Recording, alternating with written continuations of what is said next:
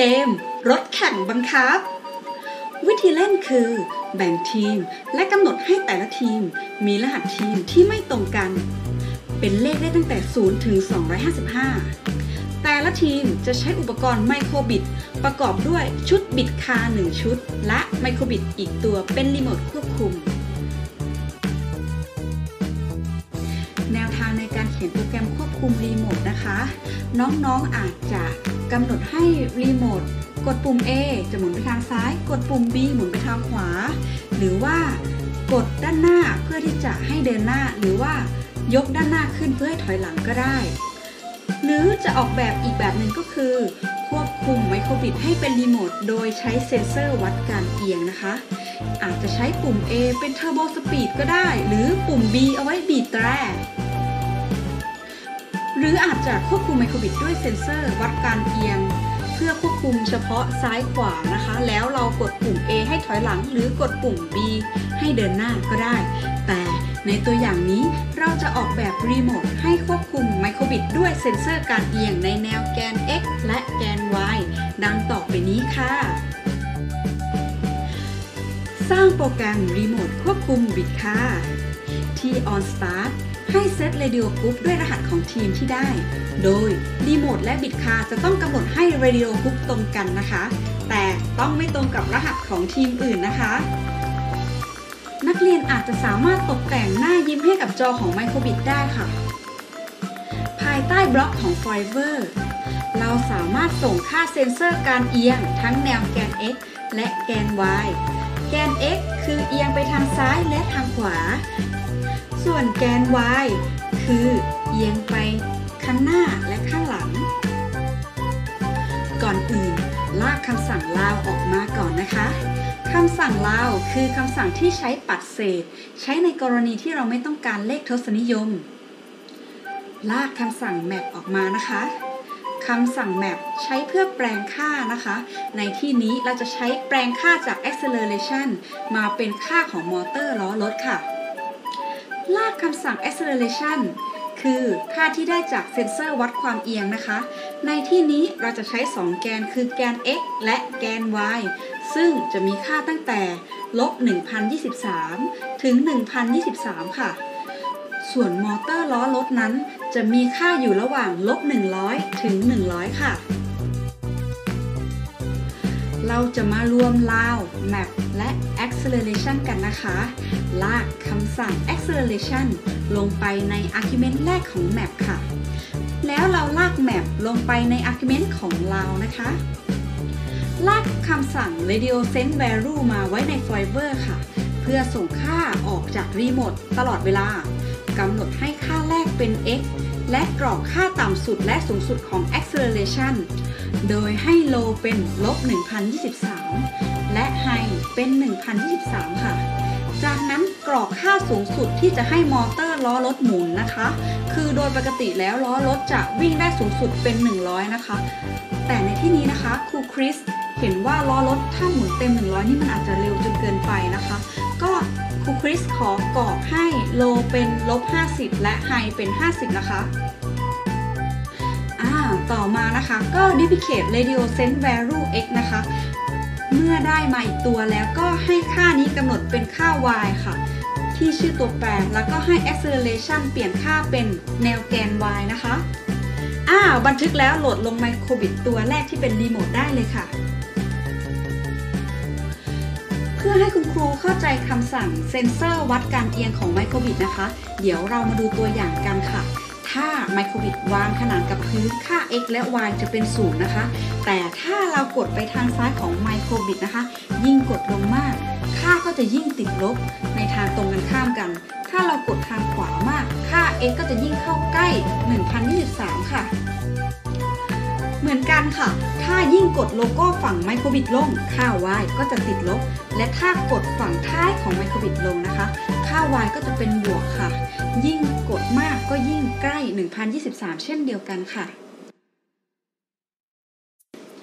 ต่อมาเรามาดูแนวทางการเขียนโปรแกรมควบคุมบิตคากันนะคะ ขั้นตอนแรกเลือกเมนู extension และใส่ URL ดังต่อไปนี้ เพื่อดาวน์โหลด extension ควบคุมบิตคาเข้าสู่โปรเจกต์ของเราค่ะ อ่าเมื่อโหลดเข้าสู่โปรเจกต์เราแล้วเรามาดูเมนูคำสั่ง Bit:Car ที่เพิ่มมานะคะ ในโปรเจกต์นี้เราจะใช้คำสั่งควบคุมให้มอเตอร์ซ้ายขวาหมุน และคำสั่งในการหยุดล้อค่ะ เราเริ่มเขียนโปรแกรมกันที่ on start ค่ะกำหนดให้ radio set group เป็นเลขเดียวกับ remote นะคะ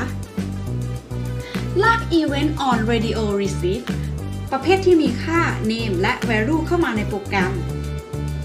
สร้างเงื่อนไข if else รวจสอบว่า ตัวแปรที่รับค่ามามีชื่อว่าอะไร y หรือ x นะคะ เงื่อนไขแรก ถ้าตัวแปรมีชื่อ y เราจะให้ทำอะไร เงื่อนไขถัดมา else if ตรวจสอบว่า ถ้าตัวแปรมีชื่อ x จะให้ทำอะไร เงื่อนไขทั้งสองนี้เราสามารถสลับลำดับกันได้ค่ะ หรือจะแยกเป็นคนละ if เลยก็ได้ ต่อมาประกาศตัวแปร x และ y ำหนดค่าในทั้งสองเงื่อนไขให้ x และ y เท่ากับ value ที่รับเข้ามา ถ้าค่าที่รับมามี name เป็น y ให้ค่า y เท่ากับ value ถ้าค่าที่รับมามี name เป็น x ให้ค่า x เท่ากับ value นะคะ จากนั้นเดี๋ยวเราแวะไปสร้างฟังก์ชันมอเตอร์กันก่อน แล้วเดี๋ยวเราค่อยกลับมาตรงนี้นะคะ สร้างฟังก์ชันมอเตอร์มีพารามิเตอร์ภายในเป็น x และ y เตือนอีกครั้ง นะคะ x และ y นี้ไม่ใช่ตัวแปรของโปรแกรมนะคะ แต่เป็นค่าที่ส่งมาตอนเรียกใช้ฟังก์ชัน ภายในฟังก์ชันสร้างเงื่อนไข ภายในเงื่อนไข if เราจะให้มี if อยู่ 2 เงื่อนไข โดยใช้คำสั่ง or ขั้นกลางเงื่อนไข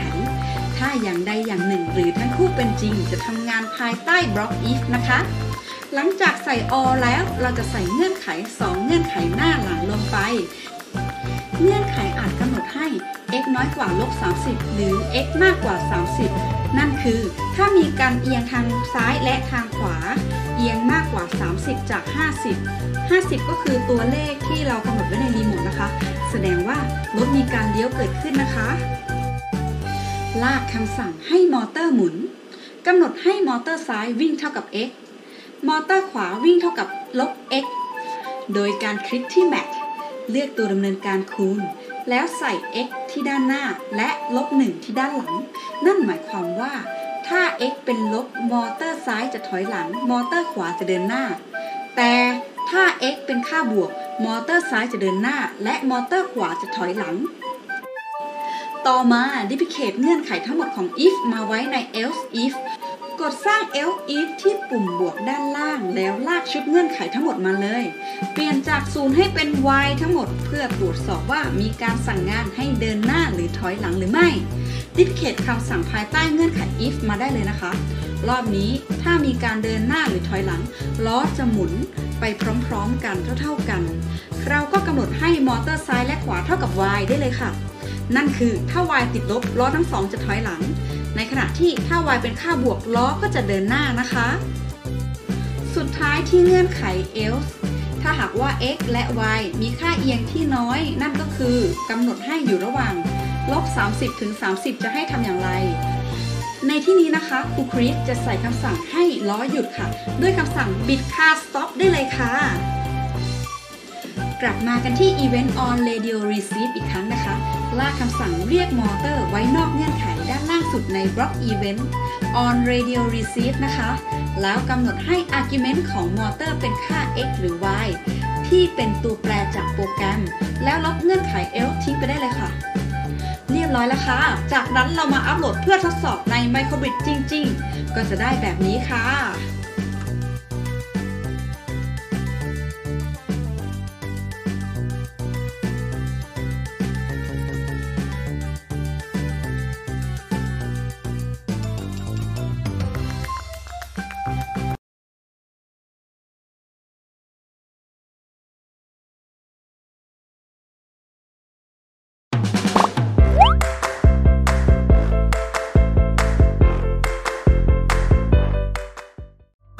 อย่าลืมกดติดตามและกดกระดิ่ง เพื่อไม่ให้พลาดสาระความรู้ดีๆ จากพวกเราอักษร Education